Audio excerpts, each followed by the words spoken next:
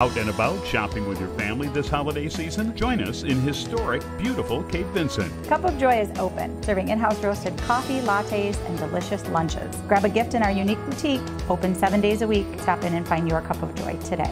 Looking for an escape without having to travel far this holiday season or winter? Angel Rock Cottages and Vacation Homes in Cape Vincent is the ideal location for your family staycation. Gato Diablo Specialty Coffee Roasters sources bird-friendly coffee. When you buy our freshly roasted coffee, you support family farms and women's cooperatives committed to delicious, sustainable coffee. Frenchtown Market in Cape Vincent, family owned and operated. Stop in for your fresh cut meats and local produce, and don't miss the unique holiday gift selection available throughout the store.